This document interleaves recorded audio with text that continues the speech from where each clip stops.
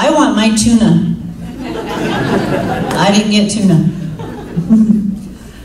um, if you're a Facebook fan or whatever, you may know what happened today. I was, it was like a war zone, and I felt like I was not in the United States for sure. Margaret Houston, I'm Cliven Bundy's sister.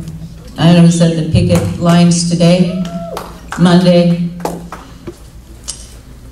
If you're not there, if you haven't been there, you need to go to see what's going on. They have snipers, they have helicopters, they're carrying machine guns. Um, it's not pretty. It's like I'm in a foreign country. And I seen it by on the ground today. Uh, Tell us what happened, Margaret.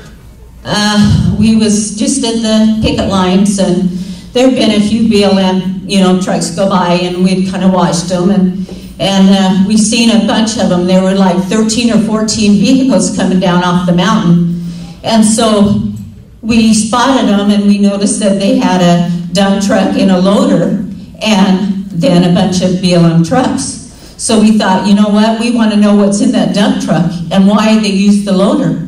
We're figuring they're up there shooting our cows, burying them in the mountains. So we thought, we're going to go and check them out. And so we did, and they started coming down towards the road, and, and uh, a couple of them got past me, and I, I was screaming, go home, we don't want you here, just get off our land, give our cows back. That was what was being said, mostly that. And um, I followed the truck down, some of them had got past me and, and, and pulled over, was out of their vehicles, I just followed one of them down, and uh, got there, and then there was continuing, you know, more coming, and um, I did get in front of one of the trucks, and I was like this on the on the you know front, and he just kept coming, so I just backed up with him, and one of the you know friends, family, you know, said, Margaret, you know, get off, you're going to get hurt. So I backed up, and then the second truck come, and I was just on the side. I was screaming, hollering. I was flip. I had my camera and didn't take one picture. I was just going like this, turning it off and on. But uh, anyway, and I was screaming at him and, and whatever. And all of a sudden, I get hit from the back. And it was like a football tackle. It wasn't a push. And I don't know what you've seen on the news, but it was a tackle. They took me and he just threw me down to the ground like that. I was a little shocked as I hit the ground. It didn't knock me out or anything. Just a little shocked that somebody actually do this. I mean, he was very strong. It felt, you know, the muscle, the heart. And I, somebody helped me up. I got right back up. As soon as I got up, he had his taser shot at my face. I mean, he didn't shoot me, pointed at my face, and he said, "Back off! I'm gonna, I'm gonna tase you." And he kept saying it to everybody, and there was a line of them. They just kept, you know, back up. We're gonna let our dog go. We're gonna tase you. Well, my nephew, you know, as soon as they threw me down, everybody's screaming, "Why are you throwing a lady down, a woman down?" And and Ammon, he pressed forward a little bit. They sent their dog, dog after him. Um, he got tased two, th three times. Um, I was back up in their face again, saying which one hit me, and I did touch a couple of them. I was punching them in the chest, just saying, hit me again, throw me down again. And I was wanting to know who where Cox was because he's the one that beat up Davy. I said, where's that Cox? Is he the one that hit me and knocked me down?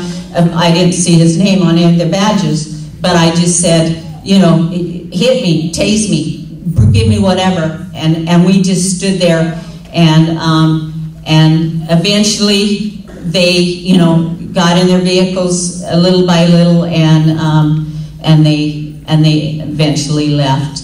Um, but it's on Facebook, you know, I don't know what the media's done. I don't know what they've said, what they've done. It wasn't a push, it was a throw. Uh, you know, my pants are ripped, my knees ripped, uh, you know, got sores on my hand. Did they call medical? No, no medical. No one, BLM did not ask me if I was okay. They didn't help me up. They never asked me if I was okay. They never said anything. They just told me they were going to tase me as soon as I got up. And, and it was in my face. And I, and no one, no one asked me if I was okay.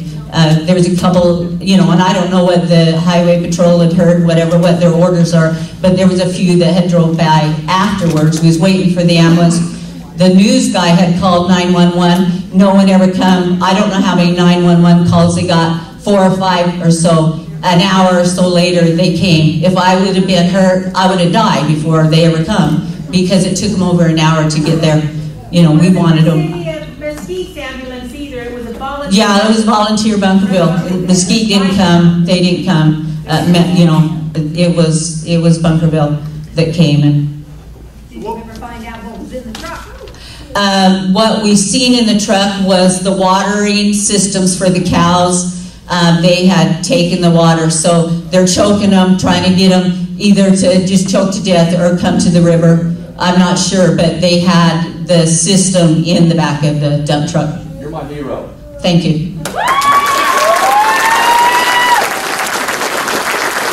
I'm just a crazy Bundy, and I, I, you know, what can I say? But it, it's a war zone. You guys need to come to the picket line and just see really what's going on. Then you'll understand what the media says, whatever, it, it, it's a war zone, and that's, that's how it is. And I felt like I was in a war today.